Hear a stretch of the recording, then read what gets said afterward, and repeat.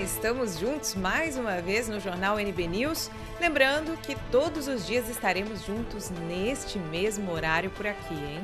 Participe do nosso chat ao vivo e comente de que lugar do Brasil ou do mundo você nos assiste. Vamos aos nossos destaques. Moraes pede extradição de exilados na Argentina. Trump diz que quem abandonar dólar será punido. Lula se reúne com banqueiros tudo isso e muito mais você acompanha a partir de agora. O ministro do Supremo Tribunal Federal, Alexandre de Moraes, pediu para que 63 pessoas envolvidas no 8 de janeiro que estão exiladas na Argentina sejam extraditadas. O pedido partiu da Polícia Federal e foi aceito por Moraes, que notificou o Ministério da Justiça. Assim que o documento chegar ao Itamaraty, o Ministério das Relações Exteriores deve começar as negociações com o país vizinho para a extradição dos brasileiros.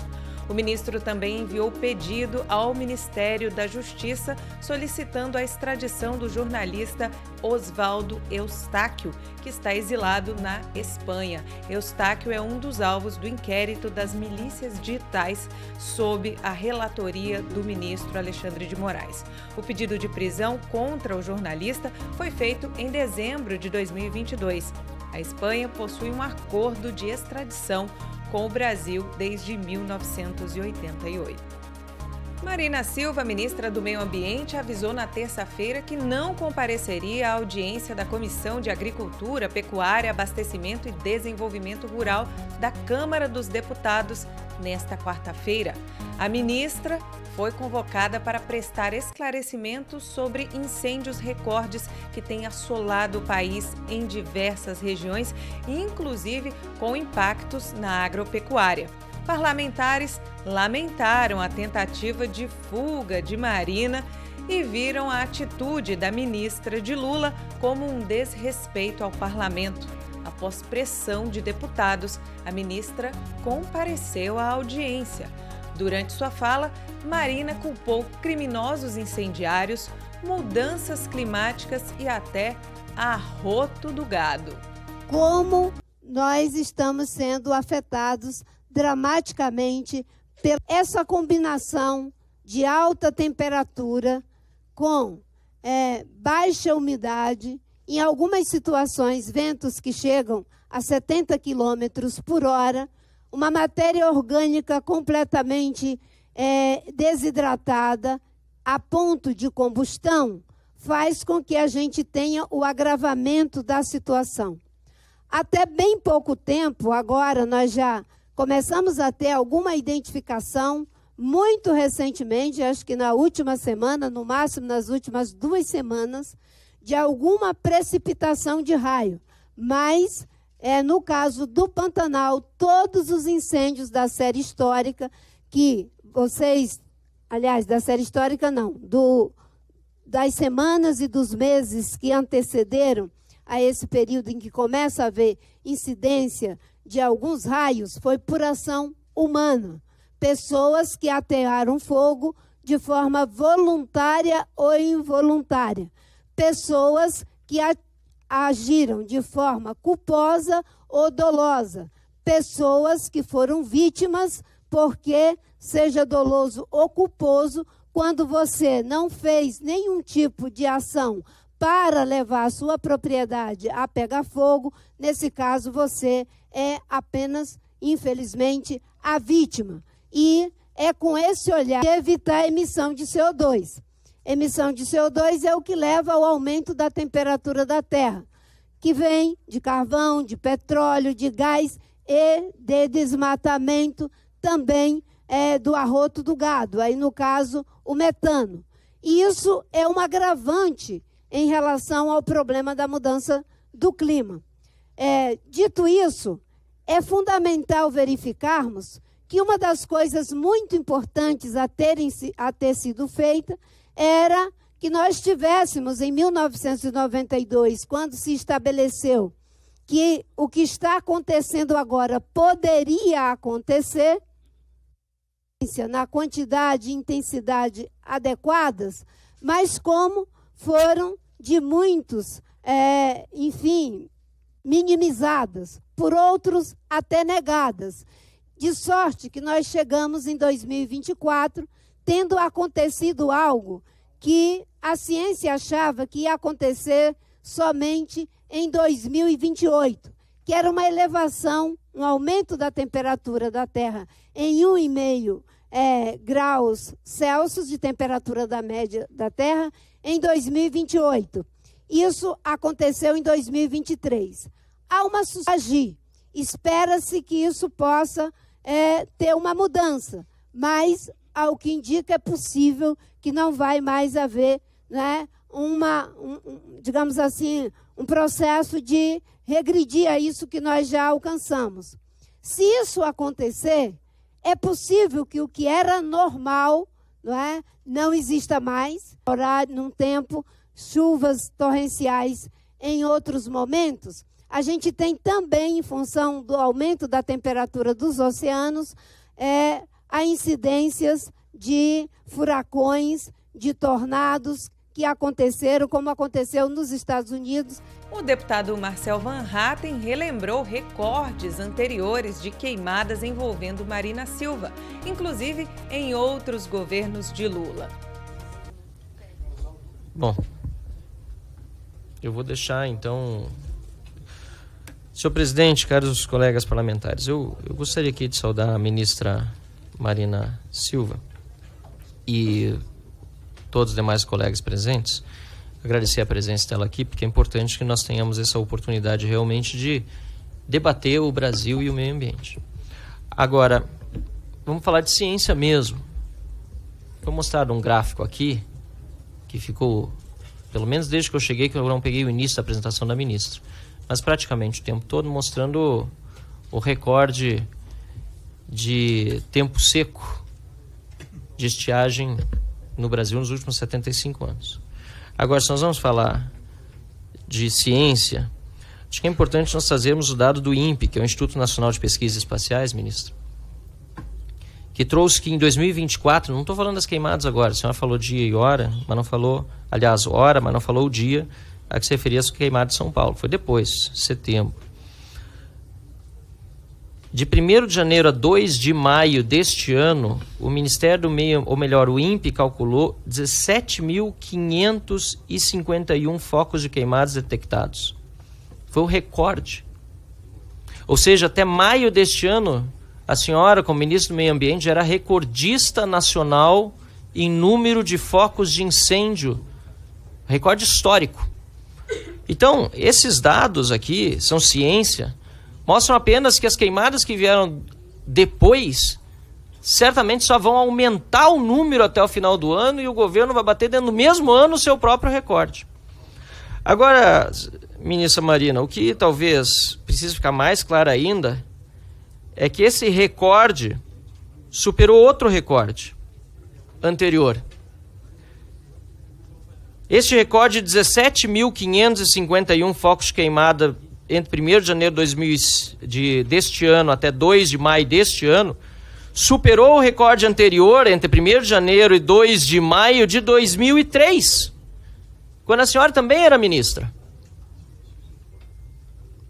Então, o recorde anterior já era seu. A senhora está batendo agora, nesses meses, o seu recorde deste ano.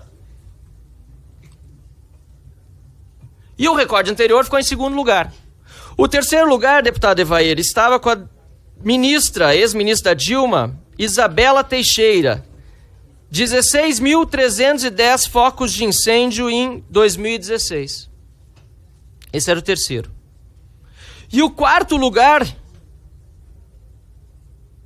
2005, também do Lula, com mais de 15 mil focos de incêndio, também Marina Silva, ministra. Então eu fico até me perguntando, primeiro, ministra, que a senhora criticou muito o governo Bolsonaro, muito o meio ambiente do ministério anterior. Eu fico imaginando o que a senhora dizia, diria sobre si mesma se a senhora fosse ministra do governo Bolsonaro. Dados esses números, é ciência. O que a senhora diria sobre si mesma?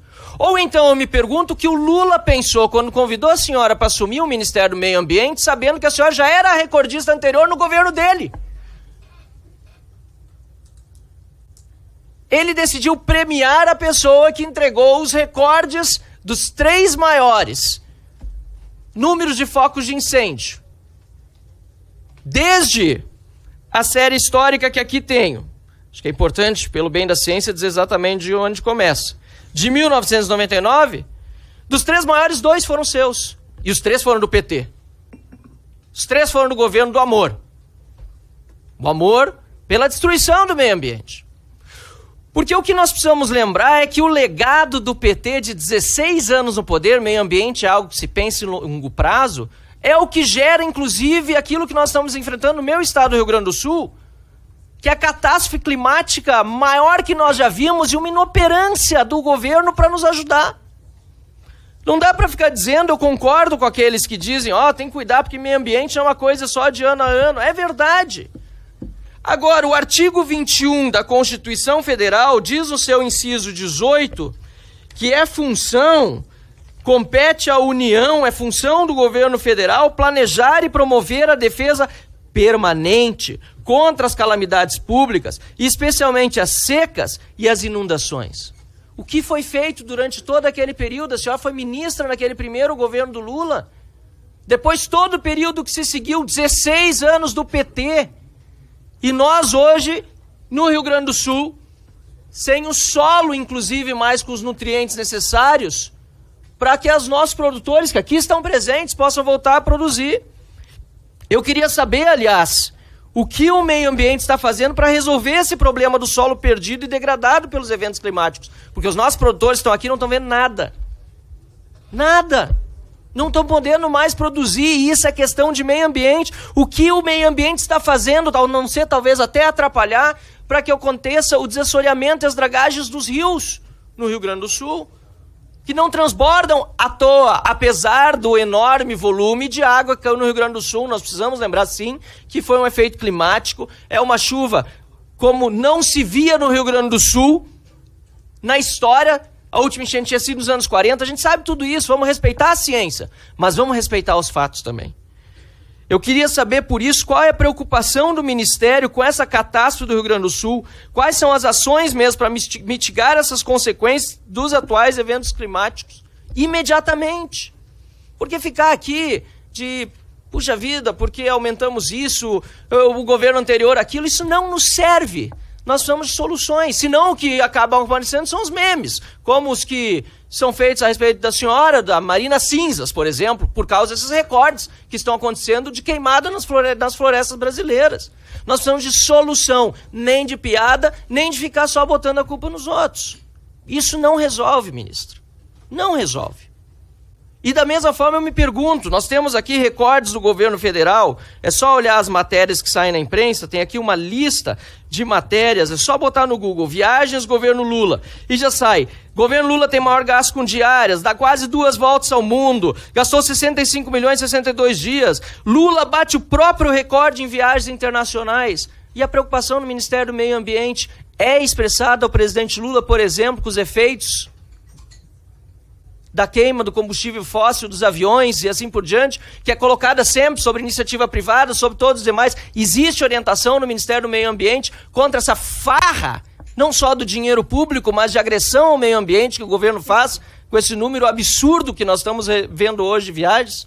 Então fico aqui as minhas respeitosas perguntas, ministra Marina Silva, com a intenção de que o Brasil saia desse marasmo, mas com o PT, nós sabemos que a solução, infelizmente, não vem. Gostaria de ouvir algo diferente da senhora, mas pelo histórico do PT, pelos recordes, os quatro piores anos de queimas no Brasil, os quatro foram do PT, infelizmente nós não conseguimos ver grande esperança realmente. Obrigado, senhora ministra. O ex-presidente dos Estados Unidos, Donald Trump, que concorre à Casa Branca, ameaçou punir países que optarem por reduzir ou abandonar o uso do dólar como moeda reserva. Donald Trump afirmou que, se vencer as eleições, vai aplicar tarifas de 100% contra produtos de países que boicotarem a moeda americana. Abre aspas. Vamos trazer as empresas de volta. Vamos reduzir ainda mais os impostos para as empresas que vão fabricar seus produtos nos Estados Unidos.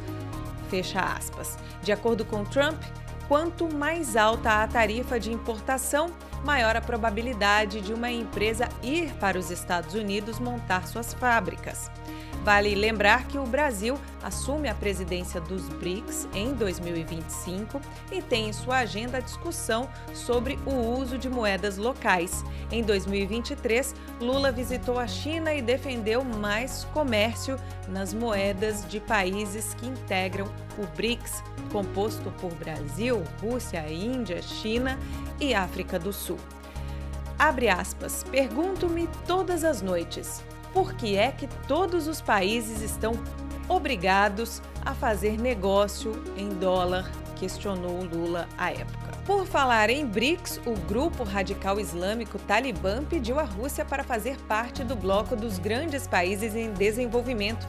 O porta-voz, Zabhullah Mujahid, confirmou que o grupo quer participar da cúpula de chefes de Estado dos BRICS, que será realizada na semana que vem na cidade russa de Kazan, para discutir questões econômicas do Afeganistão com outras nações.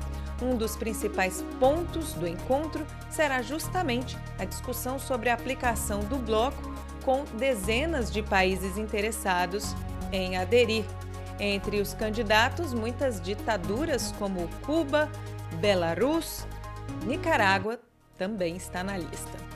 O Talibã é a cereja do bolo, com histórico ultra-radical, com direito a alerta da ONU para graves violações aos direitos humanos, como execução sumária de civis e restrições a mulheres. Lula promoveu no Palácio do Planalto nesta quarta-feira uma reunião com banqueiros. Segundo o Estadão, na pauta, assuntos como conjuntura e agenda econômica do governo, acesso ao crédito e regulamentação das bets. A discussão acontece em um momento em que os bancos privados estão tentando subir o teto dos juros do consignado para beneficiários do INSS. Esse encontro faz lembrar esta matéria da Veja de 2014, afirmando que bancos lucraram oito vezes mais no governo de Lula do que no governo de FHC. E também uma outra matéria do G1 de 2022. O título: Lula critica banqueiros, mas tem feito reuniões reservadas com eles. Na reunião desta quarta-feira, foram convidados o presidente da Federação Brasileira dos Bancos, o Isaac Sidney, além do chefe da entidade, Luiz Trabuco, e os presidentes do Banco do Bradesco, do Itaú Unibanco, Santander, BTG Pactual e Banco Safra, além do ministro da Fazenda, Fernando Haddad. João Carlos Maris Nogueira, que foi delator na Lava Jato e apontou irregularidades da Odebrecht na gestão do PT, foi contratado pela empresa JF que o escalou para participar de reuniões da holding dos irmãos Joesley e Wesley Batista no atual governo de Lula. Nogueira é diretor de Relações Internacionais da área de novos negócios do grupo. Ele já representou a Novo Honor, antiga Odebrecht, e o Cinecom, Sindicato Nacional da Indústria da Construção Pesada, em agendas no começo da gestão petista, quando atuava como consultor. Em ao menos 14 vezes entre 2023 e 2024, Nogueira esteve no Palácio do Planalto. O nome dele é citado em agendas de autoridades em cinco destas datas. O executivo ainda participou de reuniões em outras pastas. A delação de João Carlos Maris Nogueira é citada na denúncia da Lava Jato contra Lula e Dilma Rousseff, referente ao escândalo conhecido como quadrilhão do PT. Em 2017, o então Procurador-Geral da República, Rodrigo Janot, acusou os integrantes do partido de participarem de um suposto esquema de corrupção que teria rendido 1,48 bilhão de reais à cúpula do PT entre 2002 e 2016. Em editorial publicado nesta quarta-feira, o Estadão acusou ministros do Supremo de serem responsáveis por uma crise de confiança da população na própria corte. O texto diz que os ministros, abre aspas, pairam como deuses olímpicos acima do bem e do mal, fecha aspas. Apesar da crítica, o veículo reafirma sua posição a favor do que chama de excepcionalidades do tribunal durante o governo Bolsonaro para o que chama de golpismo. No entanto, para a situação atual, a leitura é outra. Agora, o Estadão considera que o momento de excepcionalidade hermenêutica passou e que não há argumentos para reivindicá-los.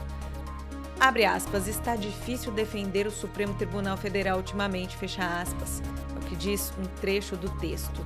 Além da crítica, o Estadão afirma que a crise criada pela Corte lesa os limites democráticos do Brasil. No início deste mês, Lula assinou um projeto de lei que cria a Alada, uma empresa pública aeroespacial. A iniciativa é parte do plano de militares da aeronáutica de transformar a base de Alcântara, no Maranhão, em um polo de lançamento de foguetes da SpaceX empresa de Elon Musk. Conforme divulgou o jornal Estado de São Paulo, a Força Aérea Brasileira está de olho na empresa de Musk como um cliente especial. O veículo também destacou um relatório feito por um grupo interministerial com a participação de oficiais da Força Aérea que defendem a ideia de que a estatal tenha preferência na exploração comercial das atividades privadas no local e faz menção à empresa do bilionário. As Forças Armadas Brasileiras já têm parceria com Musk.